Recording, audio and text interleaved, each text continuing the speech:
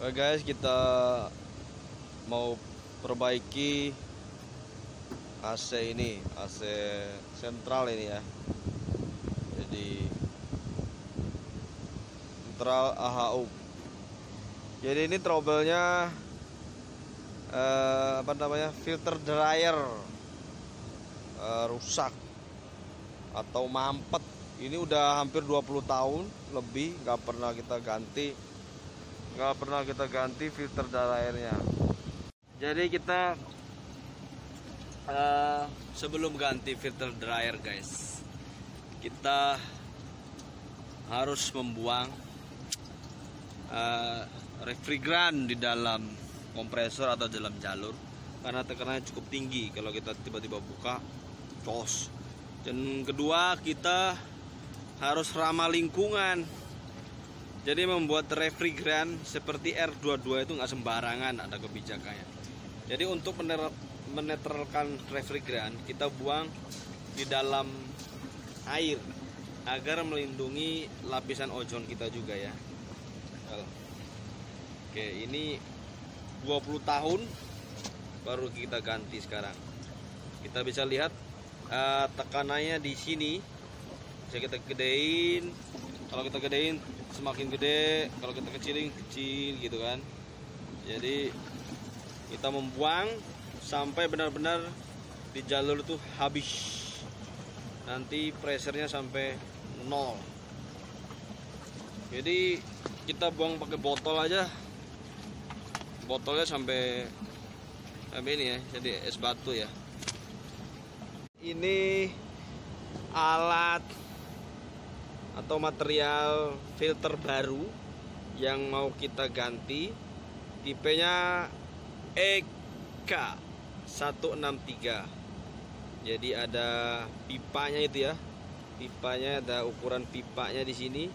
Ada 3 per 8 in outletnya 3 per 8 in nah ini uh, filter dryernya guys. Oke. okay baru ini.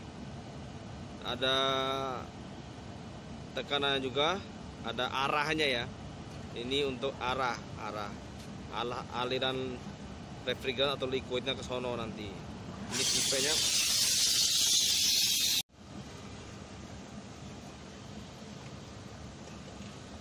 Yang bekas ya kita pasang yang baru ya guys. Yang barunya kita pasang. Oke. okay. Masanya cukup gampang. Kita menggunakan kunci Inggris atau kunci ring pas boleh juga. Yang, yang penting anda punya kunci apa? Oke. Kencangin sampai rasa yakin kencang dan tidak bocor. Jangan sampai refrigernya bocor ini bekasnya udah mampet banget dalamnya ya udah rusak. 20 tahun lebih baru kita ganti.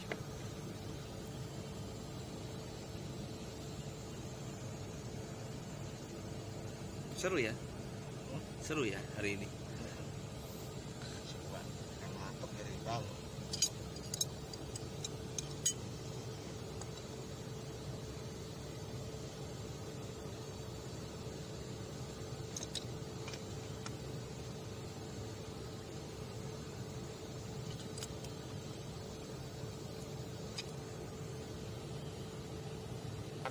ya uh seru lagi itu. Oke udah kencang. Nanti kita isi lagi refrigeranya sesuai dengan standar uh, kompresor atau unit. Ada standarnya berapa tekanannya pressernya oke guys. Sudah jadi? Sudah jadi. Ini pada jalur pipa. Ada filternya. Unit kita isi sedikit refrigernya saya 5 5 PSI lah. Oke lah yang penting cek jalur dulu cek kebocoran. Dengan menggunakan busa sabun pada bagian dratnya bocor apa tidak? Ya memastikan jalur refrigeran ini tidak boleh bocor sedikit pun. Karena mengakibatkan refrigeran itu cepat habis dan efeknya tidak dingin unitnya di ruangan. Oke, ini sudah bagus. Tidak bocor ya. Biasanya kalau bocor dia langsung kayak ban sepeda ya atau ban mobil atau ban motor dimasuk dalam air langsung gelembung. Oke.